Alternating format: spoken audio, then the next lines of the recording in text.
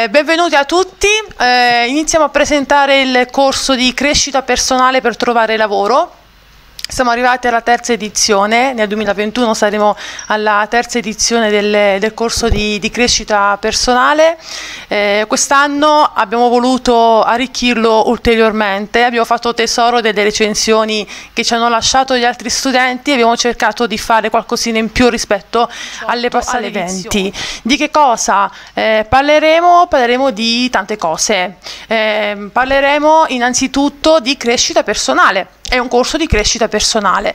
Ehm, perché parleremo di crescita personale? Eh, perché e Valentina poi ce lo potrà confermare dal suo punto di vista, lei si occupa da, da più di vent'anni di, di, selezione del personale, eh, il problema che incontriamo la maggior parte delle volte quando ci troviamo a inviare un CV o quando ci troviamo davanti al recruiter e quindi dobbiamo farci conoscere è che noi per primi non scommettiamo sulle nostre capacità, noi siamo i primi a non credere a quelle che sono le nostre potenzialità. E io vi posso assicurare che se noi siamo i primi a non scommettere su noi stessi, se siamo i primi a nasconderci dietro un dito e a non vedere quelle che sono le nostre potenzialità, difficilmente un recruiter o qualcun altro lo farà per noi. Quindi eh, il pilastro de, dei nostri incontri eh, dove batteremo tanto è proprio quello di iniziare a conoscersi, io direi iniziare anche ad apprezzare se stessi, iniziare a volerci bene mai come in questo periodo storico è importante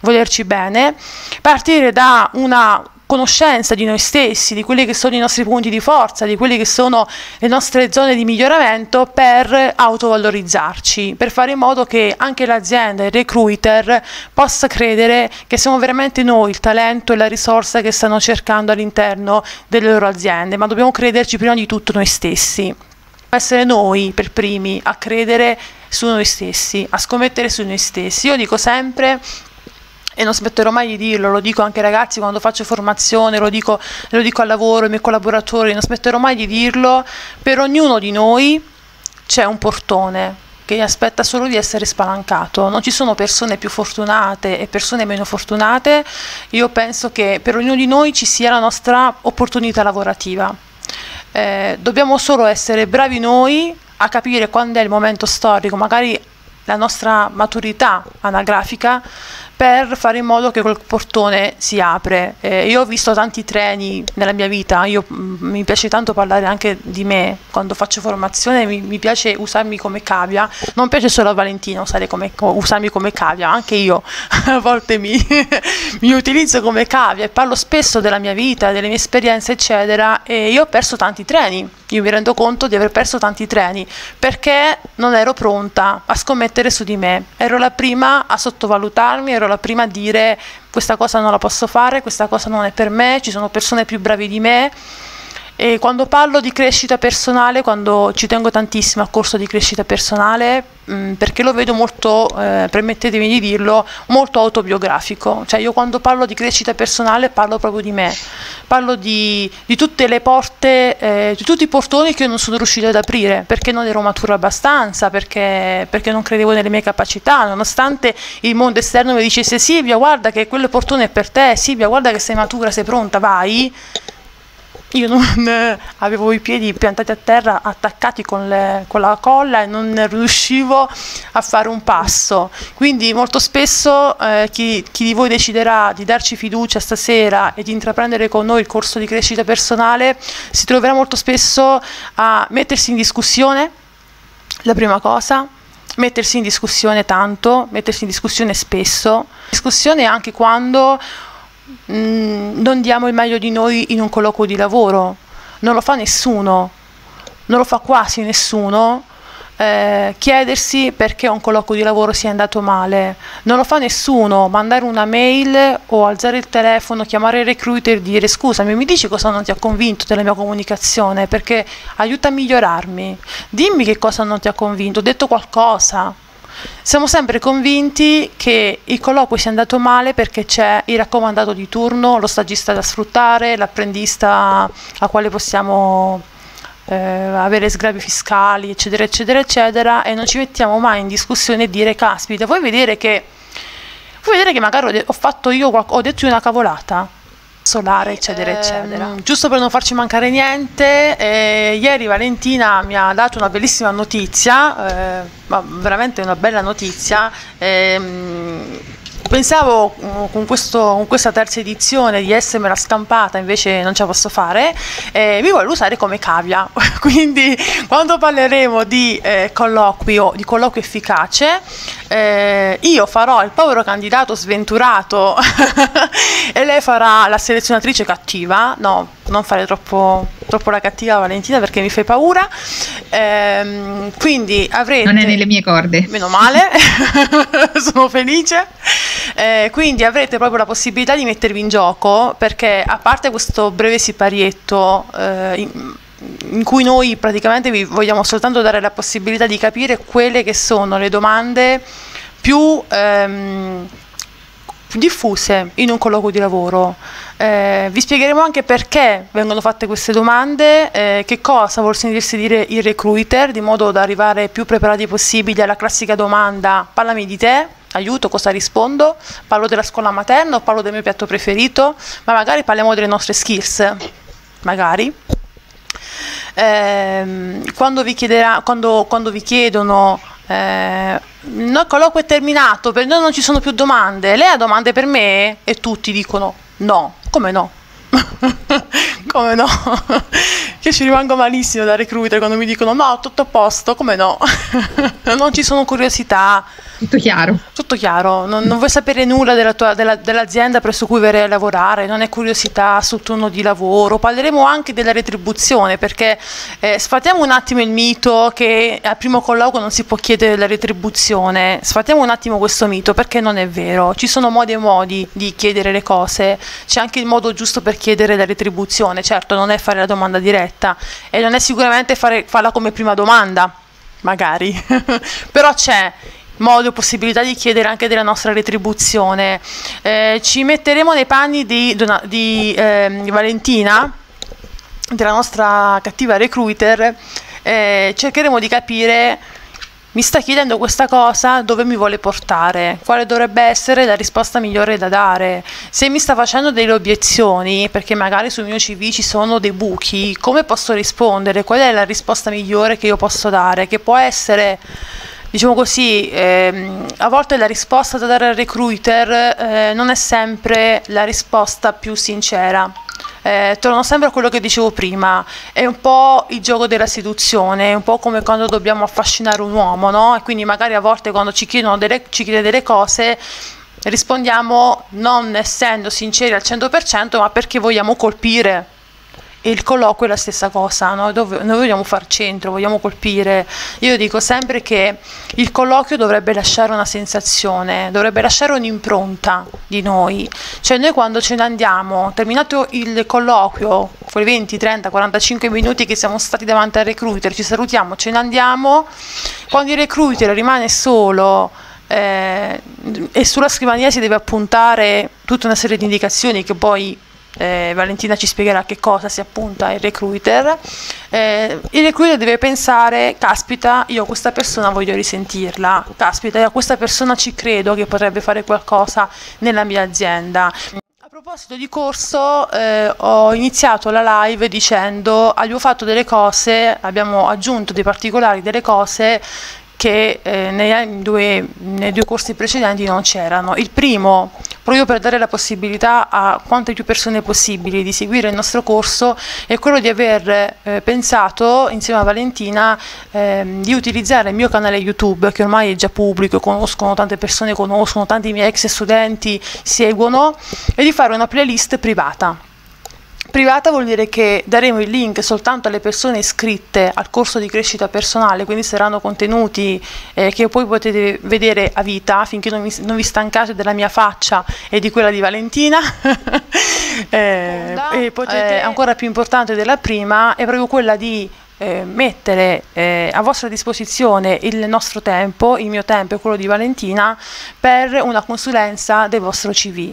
Rientra nella quota di iscrizione del, del corso, nei 10 euro, 10 euro incontro sono 8 incontri, l'ultimo giorno ci fissiamo degli appuntamenti one to one individuali, sarete voi a scegliere se preferite fare la consulenza con me o se preferite farla con Valentina eh, non ci offendiamo, non siamo gelose eh, eh, e cercheremo di darvi qualche utile consiglio eh, per vedere un attimino eh, se c'è qualcosa che si può sistemare del vostro CV o se il vostro CV va benissimo così e magari si può pensare di incrementarlo e quindi quelli 60 minuti di consulenza non si parlerà più del vostro CV che magari è già bello e perfetto così, ma ci concentreremo magari sul profilo LinkedIn. Ecco, l'abbiamo pensata in, in questo modo proprio per darvi una una, una possibilità di crescita personale in tutti i sensi. Eh, eh, potete... A quelle che sono ve le voglio mostrare le competenze che acquisirete a fine corso. Eh, non vi sarà un, eh, un, rilascio di un attestato eh, mh, perché eh, il nostro è un, corso, è un corso particolare, non rilasciamo competenze che possono essere mh, spendibili sul CV, cioè ci, ci, ci, sembra strano scrivere sul CV, ho imparato a scrivere un CV efficace, ci sembra un po' un controsenso scrivere sul CV che ho seguito un corso per scrivere il CV, è un po' controproducente diciamo quando ci candidiamo per un annuncio di lavoro, le competenze che vogliamo eh, trasferirvi, eh, io e Valentina ce le metteremo veramente tut, tutta, ci metteremo tutto il nostro amore, tutta la nostra passione, nel mio caso ci metterò anche tutta la mia autobiografia se avete tempo mezza vita, vi racconto un po' della mia, è quella di essere in grado al termine di questi otto incontri di capire, eh, di volervi bene. Io eh, torno sempre lì, eh, di volervi bene, di, di, accettarvi per quello che siete, perché eh, siamo tutte persone splendide, non è una, una cosa detta giusto per eh, per conquistarvi, ripeto, eh, io sono convinta che per ognuno di noi ci sia un portone che aspetta solo di essere aperto.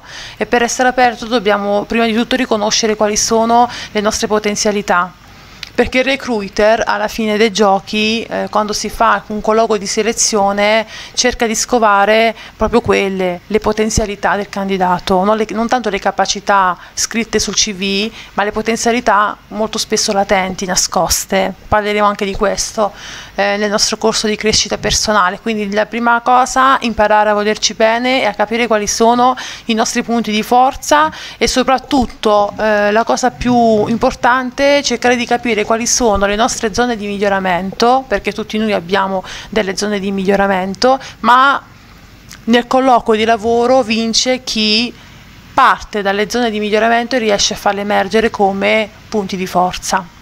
Adesso questo concetto è abbastanza difficile da, da, capire per alcuni di voi, ma vi posso assicurare che nel colloquio di lavoro e nella vita la persona veramente vincente è quello che riesce a partire dalle proprie debolezze, un tempo si chiamavano debolezze nel marketing, e riesce a volgerle a proprio favore.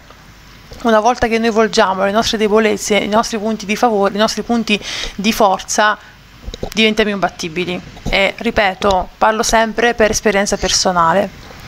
Eh, io mi ricordo quando sono arrivata qui a Milano e volevo lavorare in hotel, io ho sempre lavorato in hotel, io amo l'hotel e mi dicevano sempre eh, che mh, avevo lavorato per troppe strutture stagionali. Io non sono milanese, sono milanese di adozione ma abruzzese di nascita e ho sempre lavorato in hotel stagionali, quindi io sono la prima ad avere un CV con tanti datori di lavoro diversi. Non ho buchi nel CV perché ho sempre lavorato, ho sempre alternato eh, la stagione estiva a quella invernale, quindi non ho buchi, ho sempre lavorato in modo continuativo, ma per mia scelta, per mia esclusiva scelta, non sono mai voluta tornare stesso, a lavorare per lo stesso datore di lavoro. Ho le referenze di tutti i miei datori di lavoro, ho rapporto ottimo con tutte le persone che hanno lavorato con me, ho ancora la chat su WhatsApp, ogni tanto adesso in questo periodo di feste mi scambio gli auguri con ex collaboratori, ex datori di lavoro, quindi mi sono lasciata in buone, ehm, in, con buone parole, insomma, ma non sono mai voluta tornare per mia scelta nello stesso posto di lavoro E questa cosa, quando sono arrivata a Milano, è diventata questa cosa che io ho sempre pensato e convinta ancora adesso che sia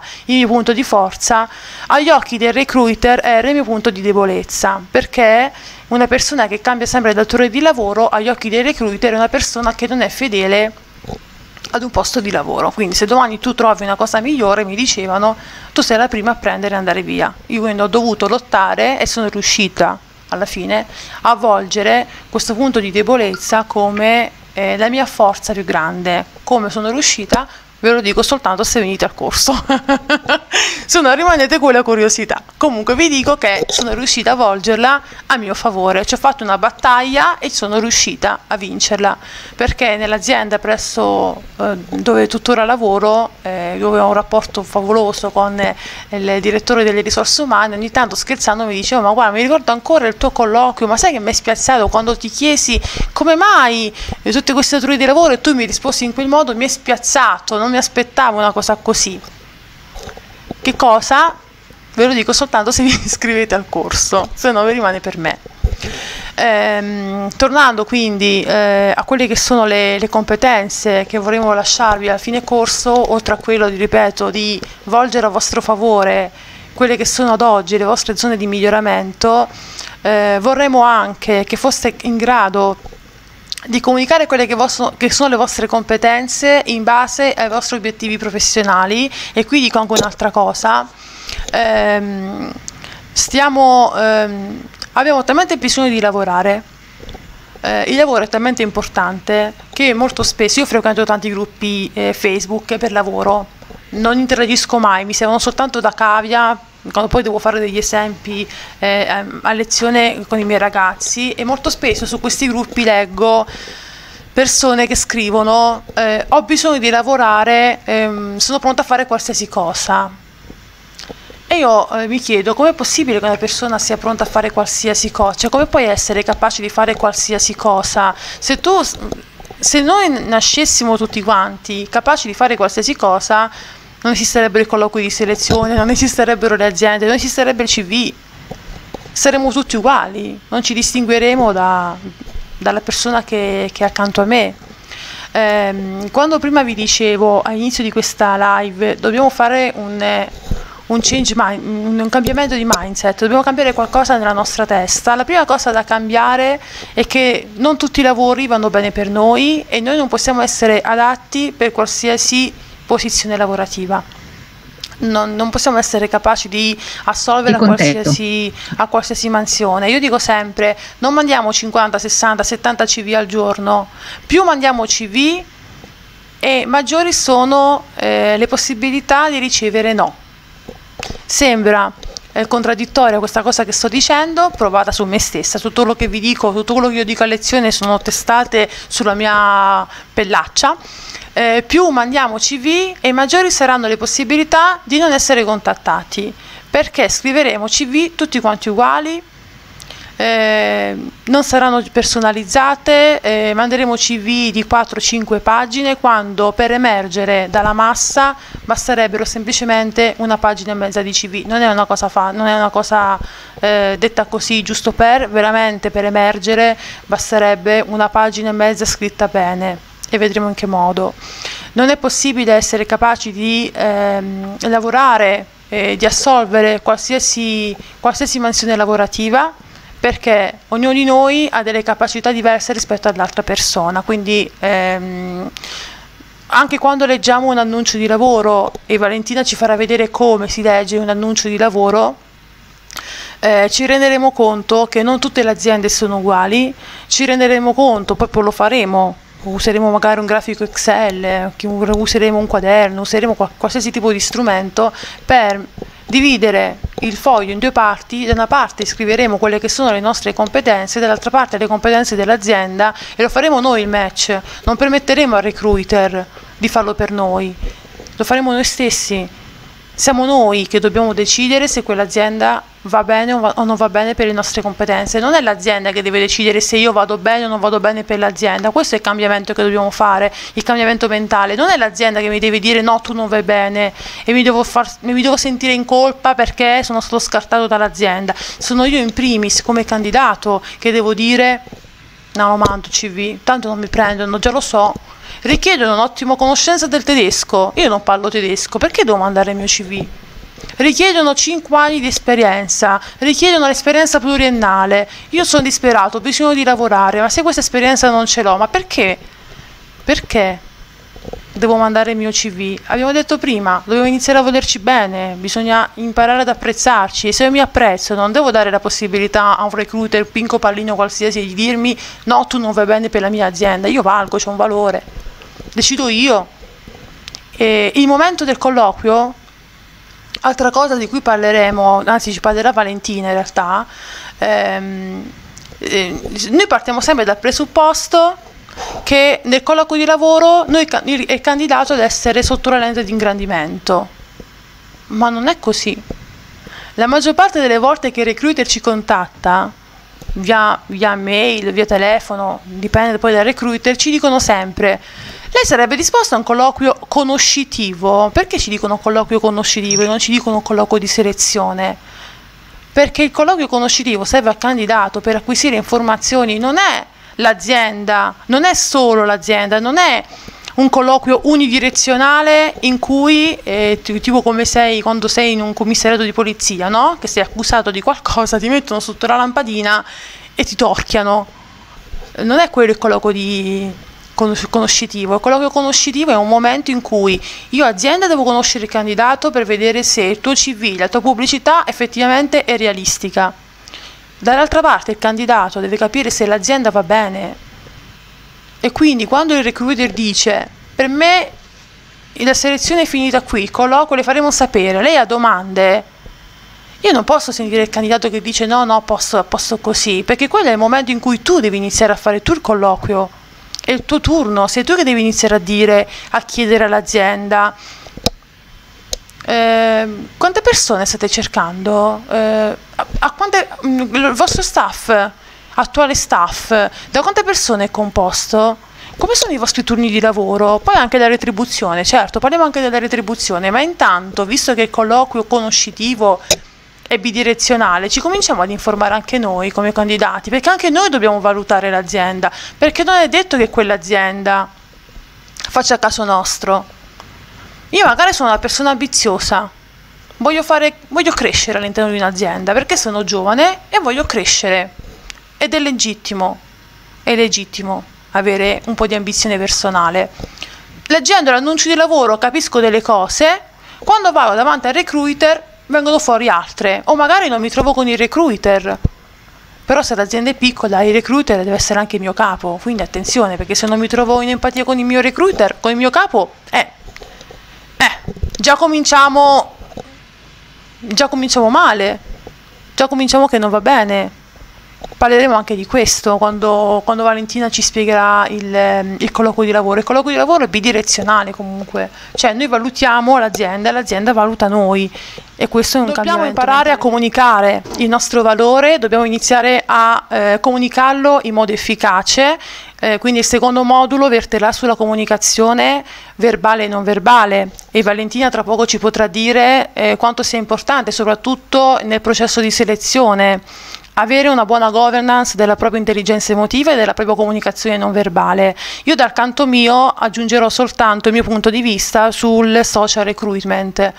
Quanto è importante eh, avere un occhio d'attenzione su tutto quello che decidiamo di pubblicare sui nostri canali social. Eh, c'è una ricerca, lo vedremo poi all'interno del, del, modu- del, del modulo 2, eh, condotta da Adecco, quindi non proprio l'ultima agenzia nata sul, sul, mercato, che testimonia quanti candidati vengono esclusi dal processo di selezione perché ancora prima di arrivare davanti al recruiter, quest'ultimo ha visionato i contenuti che il candidato pubblica sui propri social. Quindi è fondamentale quando siamo online, quando siamo su Facebook, quando siamo su LinkedIn, quando siamo su YouTube su tutti i canali social che noi utilizziamo, su tutte le piattaforme social che noi utilizziamo è fondamentale dare un occhio a quello che pubblichiamo e soprattutto al nostro punto di vista su alcuni temi. Ne parleremo bene quando parleremo di social recruitment. Parleremo di annuncio di lavoro e soprattutto eh, ci porremo dal punto di vista del selezionatore e cercheremo di capire che cosa vuole il selezionatore, che cosa sta cercando il selezionatore nel momento in cui eh, c'è un job posting, quindi pubblica un annuncio di lavoro. Parleremo di keywords, parleremo delle parole chiavi e parleremo dell'intelligenza artificiale. Non so quanti di voi in ascolto sono già informati a riguardo, ma molto spesso, la maggior parte delle volte che decidiamo di autocandidarci o di candidarci ad una posizione di, di, lavoro, il nostro CV non finisce nella casella mail del selezionatore, sarebbe troppo bello, sarebbe troppo facile, ma prima viene scandagliato il raggi X da un robot di intelligenza artificiale.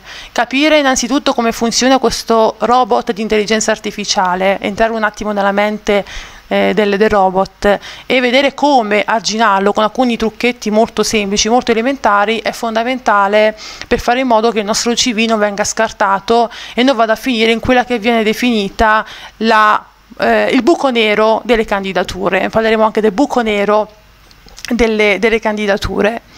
Parleremo ovviamente del CV, è un corso di crescita personale per trovare lavoro, il CV è uno degli strumenti, forse in Italia è quello maggiormente utilizzato per eh, candidarsi ad un annuncio di lavoro. Come vi dicevo all'inizio, ehm, per scrivere il CV per scrivere il CV dobbiamo innanzitutto conoscere noi stessi, dobbiamo essere capaci di utilizzare il CV come se fosse una pubblicità. Noi diventiamo delle aziende e la eh, pubblicità è, il nostro CV, quindi dobbiamo cercare di scriverlo di modo da incuriosire chi eh, ci sta eh, leggendo eh, non dire tutto di noi, un po' come, eh, perdonatemi eh, se, se, dico una cosa forte, un po' come le leggi dell'attrazione, come quando dobbiamo affascinare un uomo, no? visto che eh, ci sono tante donne all'ascolto, un po' come quando dobbiamo cercare di sedurre un uomo e quindi dobbiamo in qualche modo attirare la sua attenzione, ma non dobbiamo dire tutto di noi, dobbiamo cercare di farci scoprire piano piano.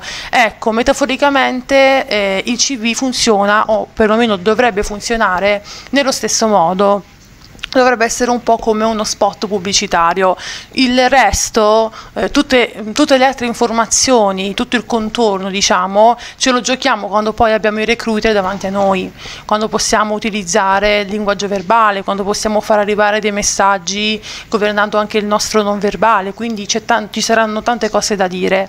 Parleremo del CV in modo molto, molto ampio ehm, ed è questo un argomento sul quale ci soffermeremo eh, tanto perché è il secondo fulcro del, eh, del, corso, del corso di crescita personale.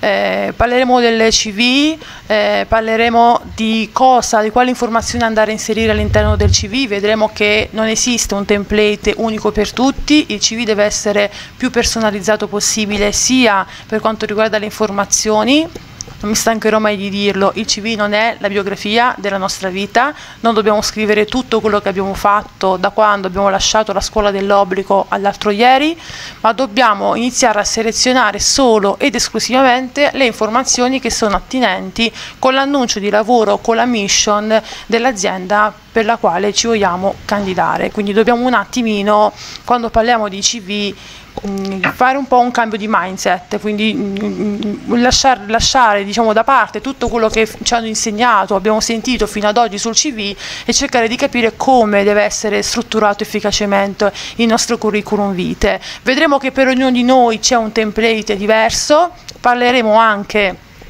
del CV formato europeo che vi dico io non amo particolarmente, ma neanche Valentina credo che ami particolarmente.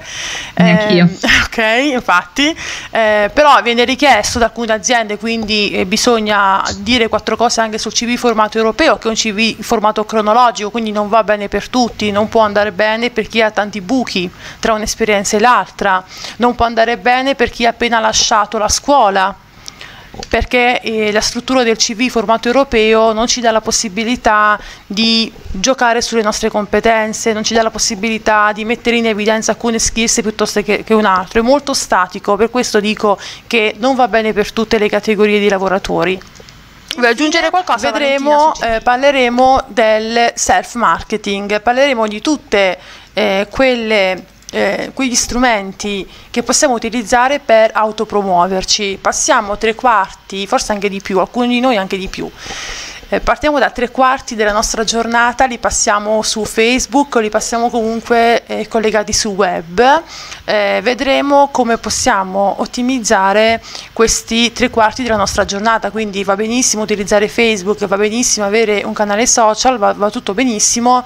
Ehm, però possiamo utilizzarlo anche a nostro favore. Eh, vi racconterò la mia esperienza, vi racconterò di come ho raggiunto degli obiettivi importanti senza aver mai mandato un curriculum ad una particolare azienda, di come questa azienda si sia accorta di me semplicemente leggendo degli articoli che io scrivevo gratuitamente per un editore online. Eh, questa azienda non ha tuttora eh, il mio CV, non me l'ha mai chiesto, quindi fare eh, self marketing, inbound marketing, come preferite chiamarlo, è importante perché ci fa passare, eh, e non è una cosa da, mm, da niente, ci fa passare, ci fa boicottare la concorrenza. Perché se l'azienda mi chiama vuol dire che mi ha già scelto se mi ha già scelto vuol dire che io non devo mostrare chissà che cosa, perché loro hanno già visto del potenziale in me, quindi ragazzi è fondamentale, qui lo dico e qui lo nego, eh, non a caso una delle tecniche, eh, sembra un controsenso ma in realtà è così, e io sono la prova, la prova, vivente di questa cosa, tanto per cambiare. Eh, una delle tecniche che io consiglio sempre ai miei ragazzi di utilizzare a chi ha il profilo LinkedIn è quella di non dire mai che si sta cercando lavoro. Perché ehm, perché le aziende tendono a contattare, e sembra un paradosso, ma io vedo già Valentina che fa così con la testa, eh, sembra un paradosso, ma le aziende tendono a contattare sì, chi corretto. non sta cercando lavoro. Quindi se tu stai cercando lavoro, non devi far sapere all'azienda, questo funziona tantissimo su LinkedIn, ve lo, ve lo, posso assicurare, funziona tantissimo su LinkedIn dove hai la possibilità di mettere nel tuo profilo una specie di plugin che ti fa vedere no, che sei in cerca di lavoro eh, le aziende tendono a contattare quelle persone che già sanno che sono comunque impiegate. Ok, eh, oppure un'altra cosa che funziona, sta funzionando tanto su di me Eh, io in questo momento eh, beh, ho finito l'altro ieri eh, il mio ultimo corso di formazione del 2020, quindi mi sto riposando, però eh, in realtà non è che a gennaio mi, mi aspettino tantissimi impegni per come sono fatta io, spero che non ci sia nessuno che mi segue su LinkedIn a parte Valentina in questo momento ad ascoltarmi, mi sto per rivelare un grandissimo segreto. Ehm, proprio per proprio perché so che eh, le aziende ricercano, ricercano, quelli che vengono definiti candidati attivi, scusami, candidati passivi, cioè le persone che non ricercano lavoro. Eh, io sul mio profilo LinkedIn faccio vedere sempre che sto facendo qualcosa, in realtà non sto facendo chissà che cosa, nel senso io ho il mio blog, ho collaborato con altri magazine online fino a un po' di tempo fa eh, quindi ogni tanto, una volta a settimana, proprio per, per, l'algoritmo di LinkedIn, ne parleremo poi durante il corso, parleremo anche dell'algoritmo di LinkedIn, ogni tanto mi diverto a condividere un articolo vecchio che magari ho scritto nel 2019, nel 2020, eccetera, eccetera. Proprio per far vedere che in realtà io sto facendo qualcosa, in realtà sono articoli vecchi eh, sono cose che ho fatto in passato, ho un mio canale YouTube, ho, ho, ho delle playlist eh, dove parlo di CV, dove parlo di colloqui di lavoro, magari anche delle, delle, scorse edizioni di questo stesso corso e ogni tanto sul mio canale, eh, sul mio profilo LinkedIn vado a condividere ehm, qualche stralcio di qualche video del mio canale YouTube, eh, proprio per non dare l'impressione alle aziende, ai recruiter, non dare loro l'impressione che in realtà non sto facendo nulla, in realtà è quello, cioè non sto facendo nulla, mi sto riposando, però è importante far credere alle aziende che si è sempre con le mani in pasta, no? come si dice, si è sempre un po' con le mani in pasta. Parleremo di tutti, eh, di tutti questi piccoli trucchetti che fanno parte della self-promotion, del personal branding, qualcosa che riguarda il modo che hai di, di valorizzare te stesso, di dare un valore a te stesso e di far vedere alle aziende che sei comunque una persona multitask, perché se fai vedere che hai le mani in pasta in tante cose, l'azienda dice, oh caspita, guarda questa ragazza come sveglia, come si dà da fare potrebbe essere la persona che fa il caso mio, potrebbe essere veramente quella persona che io sto cercando, fammela, fammela contattare, fammi vedere se è disponibile. Dobbiamo, e questo è un cambiamento mentale che dobbiamo fare quando parliamo di lavoro e quando parliamo di, di CV.